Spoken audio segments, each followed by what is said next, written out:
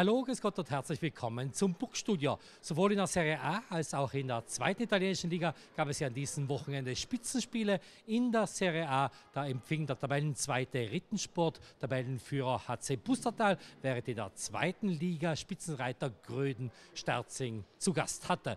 Wir beginnen aber mit der Serie A und zwar mit dem 82. Südtiroler Derby zwischen Rittensport und dem HC Bustertal. Die Rittner mit einem neuen Mann hinter der Bande, einen neuen Trainer, Bruno Eger Regatta. Er hat ja Erwin Kostner vor einer Woche ersetzt. Die Rittner und die Pusterer, beide derzeit in bestechender Verfassung. Für uns war in Klomstein-Kottlatter. Der Weihnachtsstress ist vorbei. Der neunte Spieltag innerhalb von 19 Tagen wurde mit dem Schlagerspiel zwischen Rittensport und dem HC Pustertal beendet. Zum Abschluss der vierten Runde feierten die Rittnerburben, bei denen der verletzte Kapitän Ingemar Gruber fehlte, einen 4 zu 30 nach Penaltyschießen. Pustertals Trainer Stefan Mayer musste ohne die verletzten Dominikile, Joe Calden und Thomas Erlacher sowie den gesperrten Kapitän Thomas Bichler auskommen. Vor knapp 2000 Zuschauern und einer tollen Stimmung schenkten sich die beiden Mannschaften nichts, lieferten sich backende Zweikämpfe und glänzten mit herrlichen und schnellen Kombinationen. Die Hausherren legten los wie die Feuerwehr und gingen früh in Führung, einen Schuss von Brendan Buckley konnte Torhüter Thomas Comisso vom Pusterer Farmteam SV Kalton nur kurz abwehren und Matteo Rasom traf mit einem Rückhandschuss zur Rittner 1 zu 0 Führung. Für den 24-Jährigen war es eine Premiere.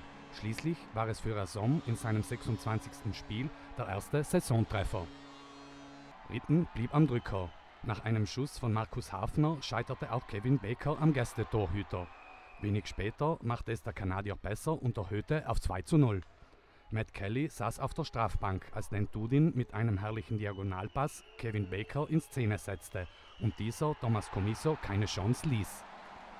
In der Wiederholung sieht man, dass Ryan Watson dem Puster Torhüter die Sicht verstellt und das 13. Saisontor von Baker nur mehr Formsache war.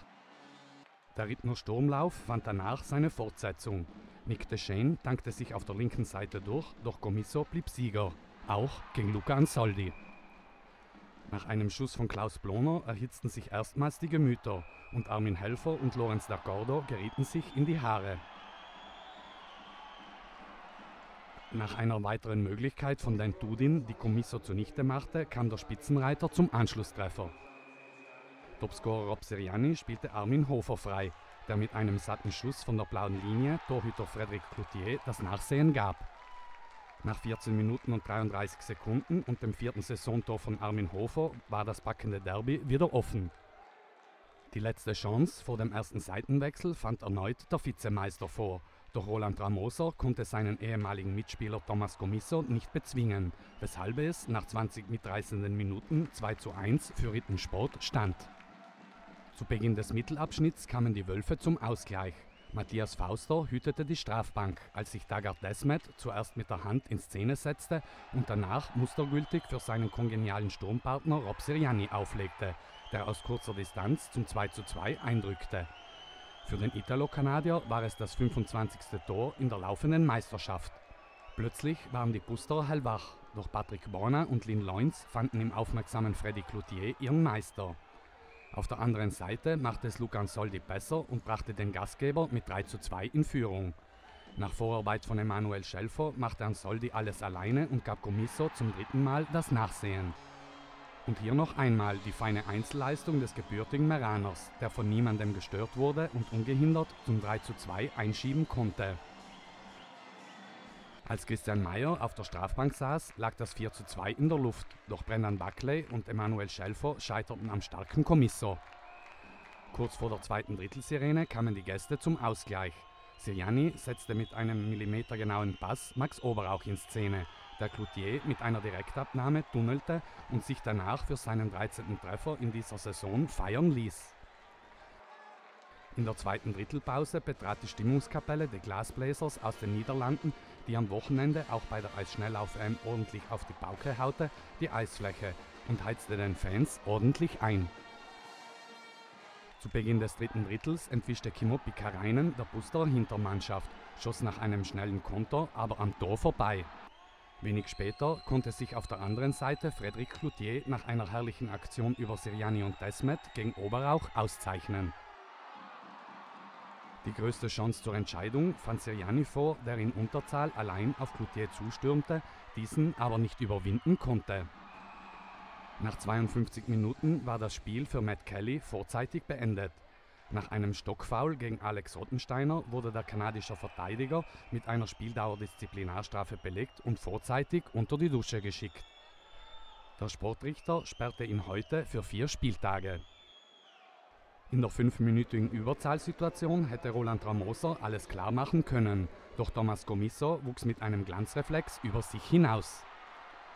Die letzte Chance in der regulären Spielzeit fand Desmet vor, doch Cloutier rettete sein Team in die Verlängerung, die arm an Höhepunkten war. Vor dem Penaltyschießen flogen noch einmal die Fäuste, nachdem Kevin Baker Joe Jensen mit dem Schläger attackiert hatte. Im Penaltyschießen behielten Timo Pikarainen und Ryan Watson die Nerven, während Sejani und Desmet an Cloutier scheiterten. Dank der zwei Punkte und des siebten Sieges in Folge verteidigt der Rittensport den zweiten Tabellenplatz. Ich glaube, Emotionen, die gehören dazu und ich denke vor allem nach einer Phase, wo die beiden Mannschaften seit zwei oder drei Wochen praktisch jeden zweiten Tag ein Spiel spielen, sind sie auch müde und dann äh, liegen die Nerven manchmal ein bisschen blank. Aber ich denke, am Anfang hat man ein sehr intensives, schnelles und gutes Spiel gesehen. Mm, ab dem zweiten Drittel ist es ein bisschen abgeflacht, weil sehr wahrscheinlich auf beiden Seiten die Beine nicht mehr so mochten wie der Kopf. Leider muss ich sagen, dass heute die Schiedsrichterleistung katastrophal war. Äh, Wenn es nicht nach Penaltyschießen geht, ist es eine Lotterie. Wir haben nicht verloren wegen der Schiedsrichter. Aber ich glaube, äh, die waren heute beide nicht auf der Höhe. Ein echt spannendes und mitreißendes Südtiroler Derby, ganz nach der Geschmack natürlich der vielen, vielen Zuschauer in Klobenstein. Wie es sonst in der Serie A ausgegangen ist, das fasst für uns Hannes Größ zusammen. Nach der enttäuschenden Vorstellung gegen Fasse am Donnerstag kehrte der HC Bozen vorgestern in Valpellice auf die Siegerstraße zurück. Im ausverkauften Cotta Morandini Stadion setzten sich die Weiß-Roten mit 6 zu 2 Toren durch. Den Torreigen eröffnete in der vierten Spielminute Michael Buster. Mazzolini spielte den 25-jährigen Italo-Kanadier glänzend frei und dieser drückte den Puck über die Linie. Die Hausherren konnten aber bereits nach 11 Minuten und 32 Sekunden ausgleichen. Alex Nikiforuk ließ der Bozner Abwehr mit einem schnellen Antritt keine Chance. Im zweiten Drittel sorgte der HC Bozen mit drei Toren in Folge für die Vorentscheidung. Zunächst kam der Puck über Bernhard und Mazzolini zu Stefan Zizi Zisser, der mit einem Rückhandschuss das 2 zu 1 besorgte. In der 28. Minute saß Ryan McDonough auf der Strafbank und Julio Scandella erhöhte auf 3 zu 1. Nur eine Minute später stand es 4 zu 1 für die Bozner. Diesmal traf der Rekordmeister in Unterzahl, weil Marco Insam in der Kühlbox schmorte. Abermals war es Zisser, der Reagan das Nachsehen ließ. Im Schlussdrittel keimte bei Valpellice noch einmal Hoffnung auf. In doppelter Überzahl, Fretter und Zisser saßen auf der Strafbank, brachte Ryan McDonough die Hausherren noch einmal heran. Postwendend machte Bozen aber ernst und den Sack zu. Zunächst traf Red Gordon zum 5 zu 2. Und nur 53 Sekunden später stellte Colton Fretter auf 6 zu 2. Damit war der Widerstand der Piemontesen gebrochen, Bozen brachte den Sieg in trockene Tücher. Die weiteren Ergebnisse des 36. Spieltags. Ponteba Siago 1 zu 2, Cortina Allege 3 zu 1. Für Cortina war es ein ganz wichtiger Sieg im direkten Duell mit Allege um einen Playoff-Platz.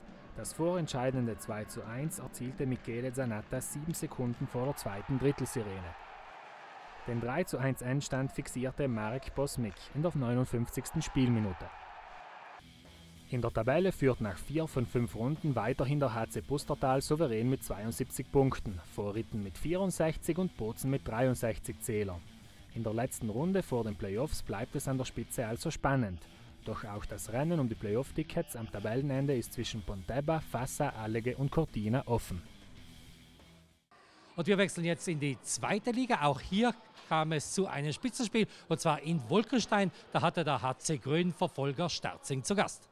Fast 1000 Zuschauer wollten sich dieses Spitzenspiel nicht entgehen lassen. Grün im weißen Trikot, die Gäste aus Sterzing ganz in Blau. In den bisherigen drei direkten Duellen setzte sich immer die Heimmannschaft durch. Sterzing siegte zu Hause 4 zu 2 und 3 zu 1, während die Ladiner das erste Spiel in Wolkenstein in der Verlängerung gewannen. Bei den Hausherren fehlte Benjamin Kostner. Sterzing musste ohne Florian Wieser auskommen. Den Broncos gelang ein Traumstart nach nur fünf Minuten, gingen sie mit 1 zu 0 in Führung. Julian Mascarin saß auf der Strafbank, die Scheibe kam zu Lukas Cardoni, der Torhüter Florian Großgasteiger bezwang. Für den 26-Jährigen war es der erste Treffer in dieser Meisterschaft.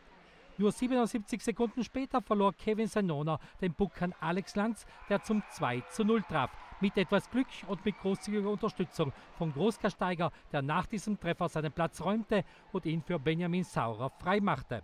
Aber auch der neue Torhüter musste sich noch im ersten Drittel geschlagen geben. Die Gröner waren in Unterzahl. Armando Gelodi saß in der Kühlbox. Das Zusammenspiel zwischen Renan Gelic und Michael Hamilton, das 3 zu 0 war perfekt. Im Mitteldrittel kamen die Hausherren besser ins Spiel und verkürzten in der 29. Minute mit Jamie Schaffner auf 1 zu 3.